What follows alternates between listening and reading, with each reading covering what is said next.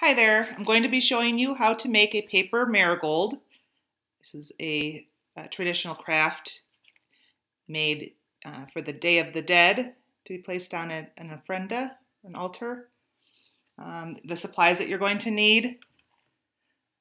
The paper is napkins that I had found at the Dollar Tree or any other party supply store. I was able to get a pack of 36 gold and 36 burgundy a dollar packet at the Dollar Tree.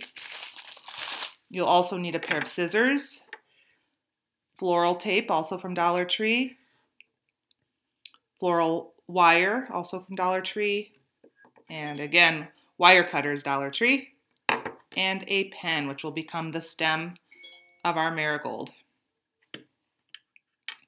To start, you want to get um, take one napkin. It's going to separate into four separate sheets. And the way we do that, um, you open the napkin. You're going to first cut along the big seam right down the middle.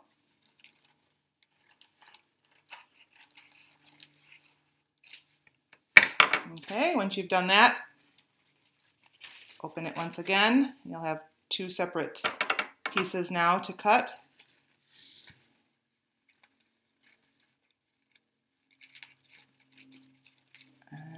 There's two now. And one more time we're going to cut.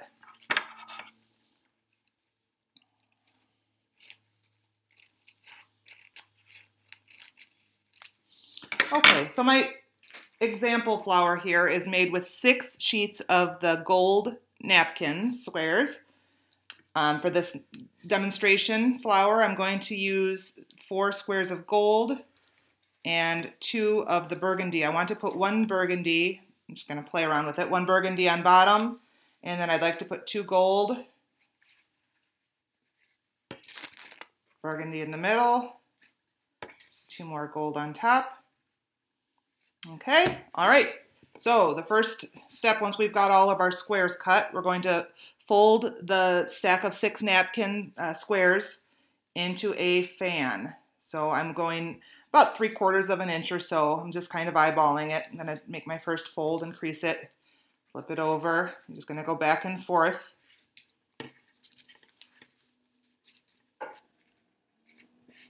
All right. All right, once you've got your fan complete, you will get a piece of your floral wire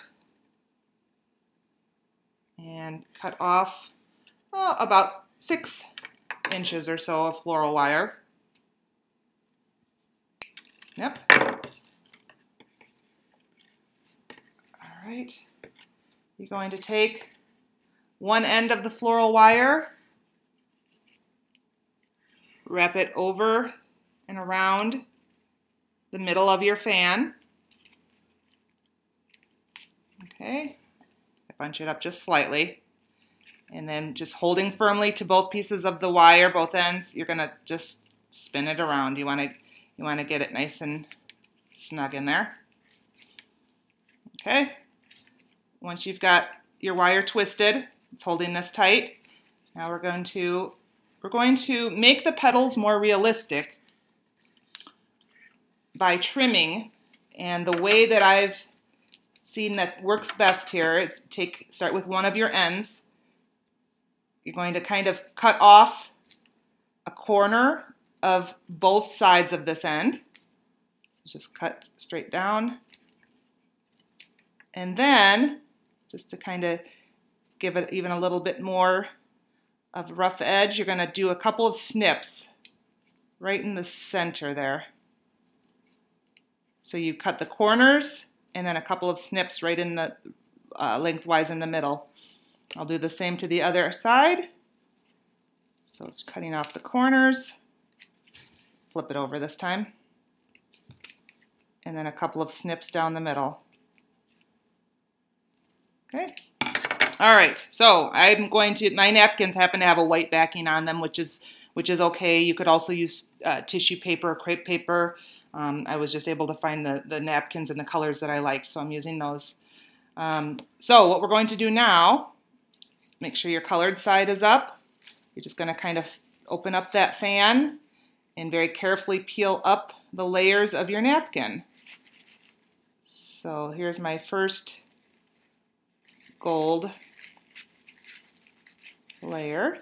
Pull it up. Okay, and then I find the next layer and carefully just work it up.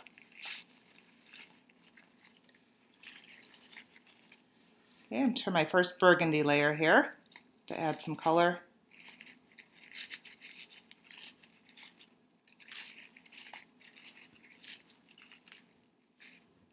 Okay, another gold layer. So since we have six layers of the napkin squares, there'll be six sections here to pull apart. That was section four. And then five.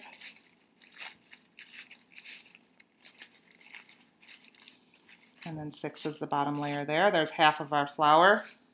And you can kind of fiddle with it to get it laying how you want. You might want to wait till you're finished with the other side too, and we'll adjust. Okay, so again, open up the side a little bit. Find your first layer, your top layer. Peel it up.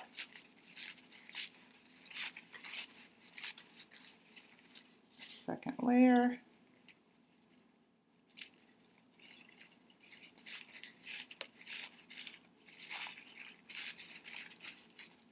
Okay, now my burgundy layer.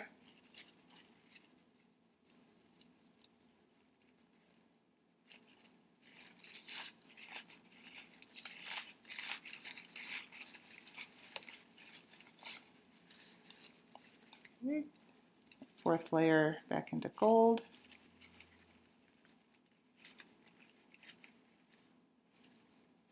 You know what, I think I put two layers at once, so I'm going to separate those now.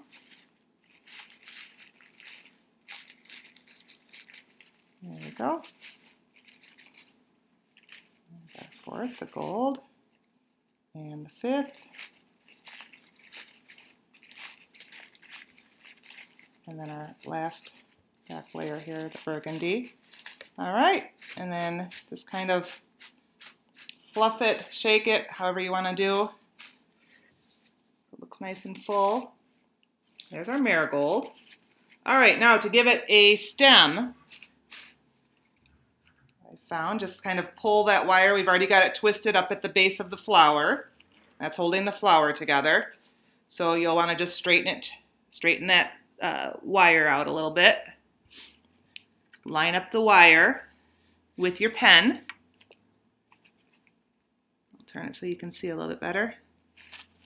So the the back of the pen is just up right to the, the flower and the, the wire is laying against the, the pen. You're going to get your floral tape.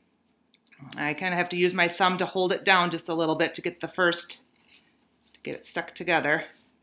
All right, and floral tape, as you probably know when you're working with it, you have to give a little pull as you work to get it really sticky so that it will hold. So go around a couple of times at the top there. And then you're just going to spin the pen. Let the tape go round and round. I'm keeping a little tension on the tape so that it really grips the pen and the wire together. Oops. Got off track, but that's all right. We'll start again.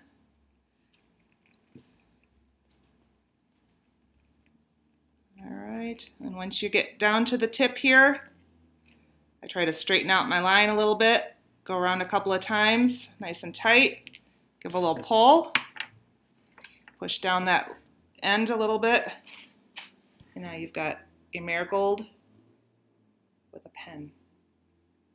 All right, have fun.